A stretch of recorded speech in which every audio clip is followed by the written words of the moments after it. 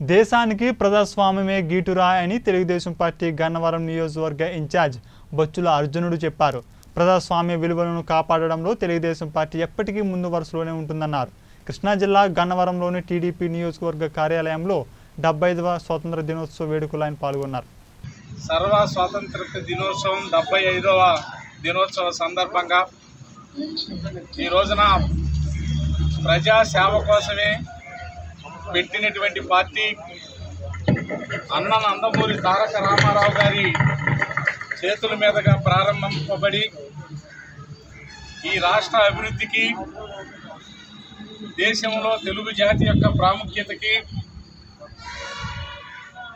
ఈటురాయిగా మిగిలినటువంటి తెలుగుదేశం పార్టీ గన్నవరం నియోజకవర్గం కార్యాలయంలో ఈ డెబ్బై ఐదవ స్వాతంత్ర దినోత్సవాన్ని జరుపుకుంటున్నటువంటి సందర్భంగా దేశ ప్రజలకి రాష్ట్ర ప్రజలతో పాటు మన ఘనవనం నియోజకవర్గంలో తెలుగుదేశం పార్టీకి సారథ్యం వహిస్తున్నటువంటి అన్ని విభాగాల నాయకులకి అధిపతులకి కార్యకర్తలకి అభిమానులకి గన్నవరం నియోజకవర్గ ప్రజలకి స్వాతంత్ర దినోత్సవ హృదయపూర్వక శుభాకాంక్షలు మీ అందరికీ కూడా ముందుగా తెలియజేస్తా ఉన్నాను.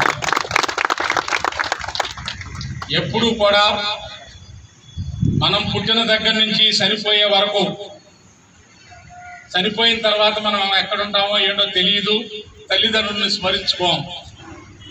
కానీ అలాగే మనం పుట్టిన దగ్గర నుంచి చనిపోయే వరకు మన జాతిని నడిపి నీతిని నిలిపినటువంటి నాయకుల్ని స్మరించుకోవటం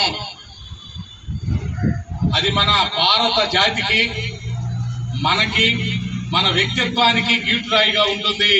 అందుకే ఈ భారతావనికి స్వాతంత్రం తీసుకొచ్చినటువంటి మహాత్మా గాంధీ సారథ్యంలో పశువులు పాసినటువంటి వారికి స్వాతంత్ర ఉద్యమంలో పాల్గొన్నటువంటి ప్రతి ఒక్కరికి పేరు పేరున శిరస్సు వంచి రెండు చేతులు జోడించి మనమంతా కూడా నమస్కరించాల్సినటువంటి అవసరం ఉన్నది. వాళ్ళందరినీ కూడా స్మరించుకుంటూ రాబోయేటటువంటి కాలంలో దేశానికి ప్రజాస్వామ్యమే భీటురాయి ప్రజాస్వామ్యం అంటే ఏదో కొత్త కొత్త అర్థాలు మనం చెప్పుకోవాల్సిన అవసరం లేదు.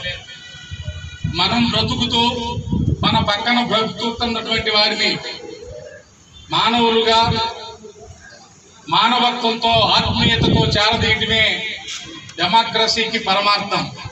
ఆ విధంగా కష్టాల్లో సుఖాల్లో భారత జాతి ఐక్యత కోసం మనమంతా కలిసి ఉండి ముందుకెళ్ళటం కోసం ప్రత్యేకించి రాజకీయ పరంగా మాట్లాడాలంటే